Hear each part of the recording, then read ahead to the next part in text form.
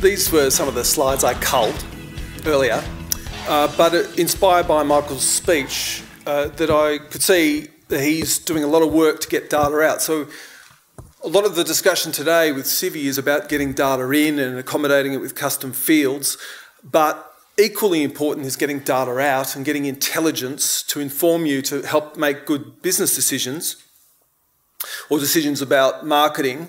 Um, and just want to share with you uh, beyond what Civi does, that at some point you might consider like we've heard from Michael what Michael's doing. He's doing a lot of effort to get stuff out and into Google Sheets. We heard what Gemma is doing with views.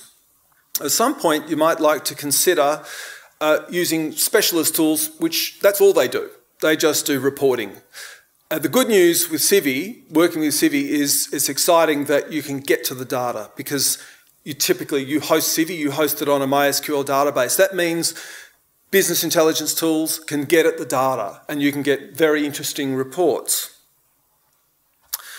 Um, so I'll start off with something simple. This is something that plugs into Drupal. It's a module called Forena Reports, and it will uh, it can interrogate across Drupal data, CiviCRM data, and other data. But you can start getting other reports which help answer questions like: Is my contact database growing? and at what rate is it growing. But you can go further and use a dedicated business intelligence tool. I favour one which is an open source tool called Pentaho. So this is one of your needs, is you need your, your, your management to review campaigns and compare them quickly. So with reports like this, you can, you can sort by clicks and opens, either volume or, or the rates and get at the data really quickly without any effort. Again, you know, that's my angle being a data scientist. I want to do things, I want to get more insights, but I want to do it with less work. And so at some point, this is a consideration. So these are just more examples. This is asking the question, how are our campaigns performing over time? How many campaigns are we running? Are we running, so the, this organisation is definitely managing to get more campaigns out the door. But how are they doing with uh, the general, you know, the number of deliveries, the number of opens, and the number of clicks that they're getting? So this gives a good visual to get a trend. How are we doing over time? Then there's another level. I mean, this, we're only scratching the surface here, but there's another level of intelligence that you might want, which is below the campaign level. How is our contact database performing? How many of our contacts say, how many contacts are we adding to the database each year? That's the top left one. So in this organisation, they added a lot in 2016. Uh, how, how does our contact base distribute by open rate? How many are not opening at all? How good is our database? Are we kidding ourselves thinking we've got a great database? What's the quality of it like?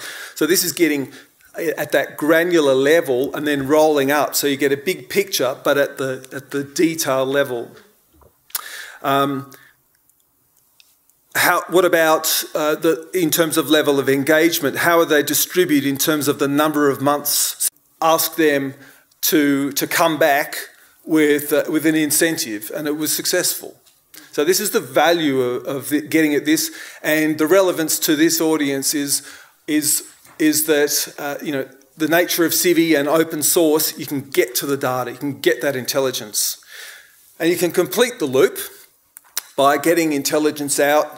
Uh, you might go a step further into analytical modelling, but you can take the data, the findings, and get them back into Civi, into a custom field, which becomes something that you can select on. So you can then take an action what are we actually going to say to the customers that aren't responding? What are we actually going to say to our, our best constituents who are participating in the events?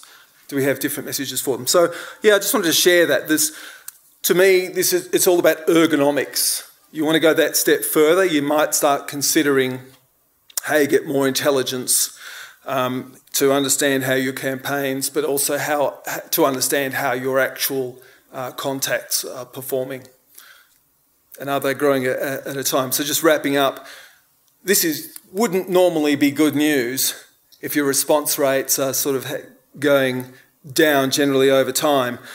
But it doesn't tell the whole story. The story is that they've added a lot of contacts to the database, so that's affecting their performance. So this then now changes the conversation into strategies about um, the quality of their contacts and the level of engagement, and perhaps they might need to try some, do some A-B testing to see what might get better engagement. That's it. Great, thanks.